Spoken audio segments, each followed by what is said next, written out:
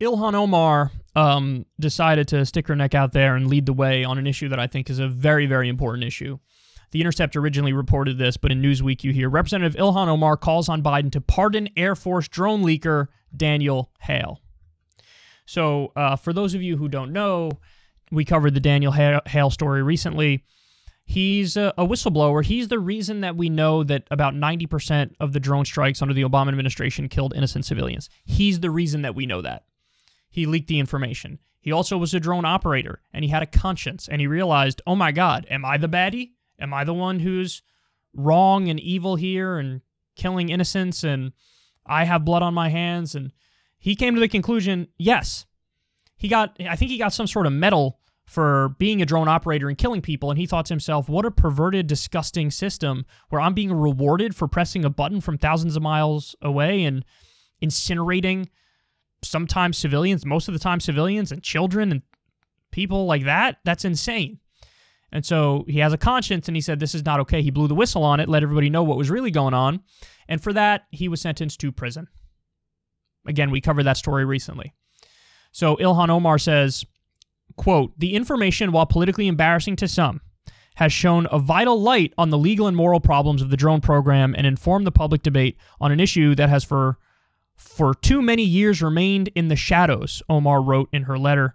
The legal question of Mr. Hale's guilt is settled, but the moral question remains open. I strongly believe that a full pardon, or at least a commutation of his sentence, is warranted. She says, acknowledging where we've gone wrong and telling the truth about our shortcoming shortcomings is not only the right thing to do, but also an act of profound patriotism. It is for precisely these cases where the letter of the law does not capture the complex human judgments in difficult situations that your pardon authority is at its that, excuse me that your pardon authority is at its most useful. Okay. She's right. She's right. If anything, you could argue, hey, the reason he should be locked up is for pressing the button on the drones and killing the innocent people. That's a legit reason to lock him up. But no, he got he was found guilty for blowing the whistle and telling everybody about all the killing of civilians that was going on.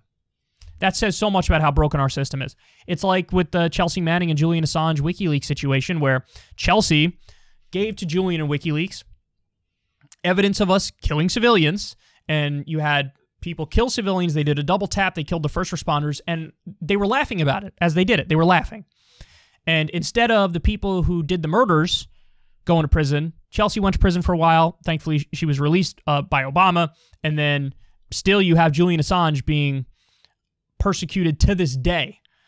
So it says a lot about the system that it's not the criminals, it's the people who blow the whistle on the criminals who end up going to prison. And this is a rare instance. I got to be honest, I didn't expect anybody to stand up for Daniel Hale from within the belly of the beast, but Ilhan Omar is doing exactly that, and she's right. And I hope that, you know, AOC and Rashida Tlaib and Mark Pocan and Pramila Jayapal and Ro Khanna and all of them, I hope they all sign on to this and put a little bit of pressure on Biden because he deserves it. He's an American hero. I'm telling you, history is a harsh judge, man. And it's a harsh judge in the right ways.